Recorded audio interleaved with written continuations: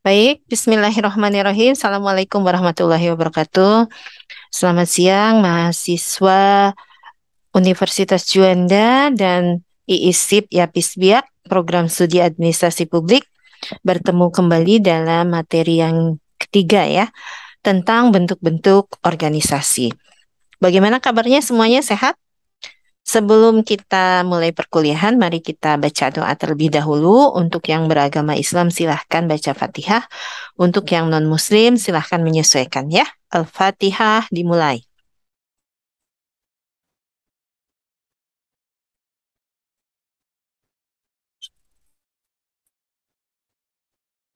Selesai.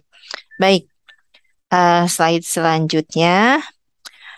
Nah, dalam bentuk-bentuk organisasi kita kenal ya, kita bedakan ada tiga pola utama bentuk organisasi. Ada yang disebut dengan organisasi lini, ada yang disebut dengan organisasi staf, ada yang disebut dengan organisasi lini dan staf.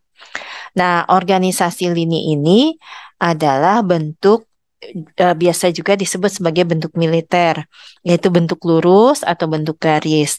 Nah, ini merupakan uh, terutama bentuk organisasi pada organisasi yang sifatnya klasik ya, uh, terutama organisasi yang masih sederhana. Tokoh yang uh, menyarankan untuk menggunakan ini antara lain adalah Henry Fayol ya. Kemudian bentuk staff. Bentuk staff ini adalah fungsional. Nah, kalau bentuk lini itu biasanya uh, pada organisasi yang sifatnya yang ada jabatan struktural ya, sedangkan staf ini yang ada pada organisasi yang memiliki jabatan fungsional. Di sini ada tokohnya Frederick Winslow Taylor dengan uh, konsepnya tentang time and motion study. Nah, untuk yang bentuk staf ini bukan berarti staf bawahan di sini ya, tapi staf ini adalah bentuk fungsional.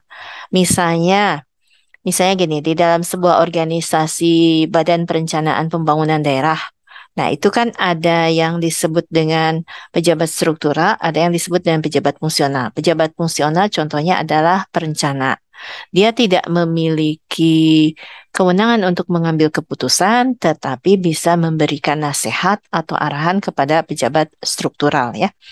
Nah, bentuk lini dan staf artinya dalam sebuah organisasi itu ada gabungan, ada yang disebut dengan bentuk lininya, ada yang disebut bentuk stafnya. Artinya ada pejabat strukturalnya, ada pejabat fungsionalnya. Contoh tadi di Badan Perencanaan Pembangunan Daerah atau di universitas. Universitas misalnya ada pejabat strukturalnya menggunakan bentuk lini, nah ada fungsionalnya dosen. Dosen itu sebetulnya uh, termasuk jabatan fungsional, sedangkan misalnya karyawan, staf, eh, staf yang kita sebut dengan tenaga kependidikan itu biasanya itu adalah jabatan uh, struktural ya. Nah, ini bentuk lini. Nah, dalam bentuk lini, setiap organisasi itu membutuhkan sebuah uh, suatu ketegasan ya. Nah, uh, apakah seseorang atau lembaga itu sebagai staf atau lini karena kedua fungsi itu secara prinsip berlainan. Tetapi memang dalam organisasi itu ada yang memang melakukan uh, pembagian tugas atau bentuk organisasi itu sebagai bentuk lini, ada juga yang menggunakannya menggunakan staf saja, tetapi uh, ada yang menggabungkan kedua-duanya. Biasanya pada organisasi kolegial itu bentuknya bentuk staff. Artinya semua orang dalam organisasi itu adalah fungsional, tenaga ahli misalnya ya. Uh, dia hanya bertanggung jawab satu kepada pimpinannya. Tetapi kalau yang bentuk organisasi uh, birokrasi misalnya atau bentuk organisasi biasa, maka lebih banyak menggunakan lini atau campuran antara lini dan staff ya. Di sini hmm, contoh lini langsung memimpin orang. Jadi lini itu ada atasan dan bawahan, ada anak buah, ada staf di bawahnya. Staf di sini bukan staf fungsional ya, tapi staf dalam arti uh, anggota organisasi. Nah, ini juga memberikan servis, mengatur tindakan orang atau bawahan yang dipimpinnya, menarik pajak, melaksanakan tindakan operasional, melaksanakan policy yang telah disahkan oleh badan legislatif. Lini juga mempunyai commanding position. Jadi punya posisi untuk memerintah kalau lini itu ya. Sedangkan staff hanya pemberi bantuan atau pelayanan kepada lini. Jadi staff itu sebetulnya tidak punya kewenangan untuk memerintah. Tidak punya kewenangan untuk melaksanakan pekerjaan. Jadi staff itu hanya mengarahkan, hanya memberi nasihat, uh, terutama kepada uh, pejabat lini ya. Lini adalah mereka yang berhubungan dengan fungsi mengerjakan, sedangkan staff berhubungan dengan fungsi menasehati atau memberikan arahan. Nah, tugas lini yang utama membuat keputusan, pertanggungjawaban, menafsirkan kebijakan dan mempertahankannya, kemudian masalah manajemen pendapat umum ini untuk uh, tugas lini ya. Slide selanjutnya, tugas lini dalam tingkat uh, administratif ya, dalam tingkatan yang sifatnya administratif. Nah, atau uh, sifatnya karir ya. Pertama tadi memberi nasihat, saran, dan pertimbangan. Kemudian membuat program kerja, memperhitungkan biaya, mempertahankan kapasitas produksi, membuat analisa dan perbaikan organisasi atau metode, membuat job description, job analysis, position classification, kemudian mempertanggungjawabkan kepada pejabat politik pada taraf terakhir. Kemudian fungsi ini di dalam eksekutif adalah bertindak, sedangkan staff adalah berpikir. Jadi kalau uh, lini itu to X, sedangkan staff itu to think ya. Staff yang berpikir, kemudian memberikan saran, nasihat, pertimbangan kepada petugas uh, pejabat lini, tetapi bukan berarti pejabat lini itu tidak juga tidak bisa memberi nasihat atau saran atau pertimbangan. Hanya bedanya kalau pejabat lini itu bisa langsung melaksanakan, mengambil tindakan, mengambil perintah ya dan mengkoordinasikannya kepada uh, anggota organisasi di bawahnya. Slide berikutnya. Nah, pengetahuan pengetahuan pejabat karir. Jadi seorang pejabat karir, pejabat karir itu adalah pejabat lini ya yang harus dimiliki oleh pejabat struktural atau pejabat lini itu adalah kemampuan administratif. Ada administrative ability technical ability dan technical know-how. Jadi selain kemampuan administratif, pejabat lini itu harus punya kemampuan teknis, kemampuan teknis yang berkenaan dengan tugas pokok dan fungsinya. Tapi juga ada technical know-how, kemampuan memecahkan berbagai macam persoalan yang dihadapi ketika dia melaksanakan tugas pokok dan fungsinya. Kadang-kadang misalnya uh, dalam melaksanakan dalam melaksanakan tugas pokok dan fungsi itu tiba-tiba mau menghadapi sebuah masalah tertentu yang sebelumnya tidak ada, yang sebelumnya tidak dipelajari dalam kemampuan teknis ya, tetapi itu tiba-tiba ada. Nah, seorang pejabat lini harus mampu memecahkan berbagai masalah tersebut. Jadi harus punya kemampuan teknikal know-how ya. Selanjutnya, slide selanjutnya berkenaan dengan organisasi staff atau bentuk organisasi staff. Nah, staff ini hanya memberi nasihat kepada siapa? Tentu kepada pejabat lini.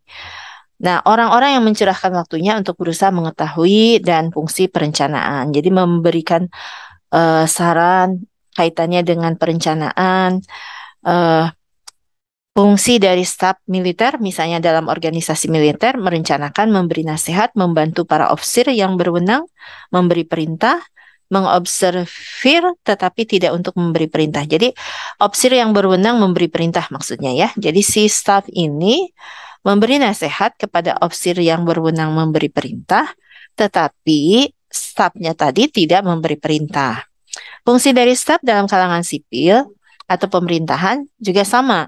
Di sini pada prinsipnya adalah mempelajari masalah administrasi, merencanakan, memberi nasihat, observasi tetapi tidak untuk memimpin ya. Slide selanjutnya berkenaan dengan bagan organisasi. Menurut uh, Henry G. Hodges bahwa bentuk organisasi itu ada lima. Ada yang bentuknya piramid, ada bentuk horizontal, ada bentuk vertikal, ada bentuk lingkaran, atau ada juga bentuk lukisan. Bentuk piramid berarti CEO atau top management itu ada pada bagian atas ya ada satu. Kemudian nanti di bawah CEO, di bawah top management ada yang disebut dengan uh, middle management. Middle management itu bisa 3 sampai 5 uh, orang atau lima posisi ya. Kemudian nanti dari top management, middle management ke bawah low management ini semakin luas bisa 7 sampai 9. Nah, dari low management ke staff itu juga bisa semakin lebar, semakin luas ya, bisa 9 sampai 13. Tetapi kalau pekerjaannya homogen, sehomogen mungkin, uh, low management itu bisa memimpin sampai 40 orang. Tapi kalau pekerjaannya beragam, maka semakin sempit, semakin terbatas, gitu ya. Nah, bentuk piramid ya seperti piramida, seperti segitiga. Jadi di di atas runcing ke bawah lebar. Nah, bentuk horizontal, uh, organisasi bentuk horizontal ini membuat atau menempatkan posisi top management itu di samping. Kemudian baru ke samping, dari samping kiri ke samping kanan.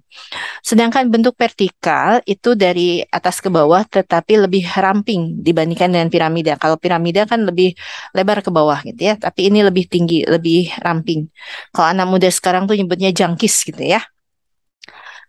Bentuk lingkaran biasanya pada organisasi internasional, misalnya PBB, ada bentuk lingkaran penuh, ada bentuk setengah lingkaran, di mana pimpinan itu ditempatkan di tengah, kemudian delegasi-delegasi atau komisi-komisi itu ada di uh, samping-sampingnya, seperti sebuah lingkaran atau setengah lingkaran.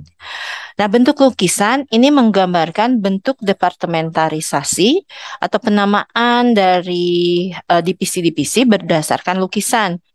Misalnya, uh, kalau kita pakai bentuk lukisan ya, ketika menggambarkan departemen kepegawaian misalnya dilukis menggunakan orang. Tapi kalau menggunakan misalnya departemen keuangan di situ dilukisnya pakai uang misalnya dan seterusnya. Kalau kalau ada departemen pemakaman ya makam lah gitu ya mungkin yang digambar di situ ya. Baik, uh, slide berikutnya. Nah, sementara kalau kita melihat dari isinya, maka bagan itu dapat dibedakan empat macam. Yang pertama, bagian struktural. Bagian yang kedua bagian fungsional, yang ketiga bagian jabatan, yang keempat bagian nama. Bagian struktural itu berarti yang digambarnya strukturnya saja.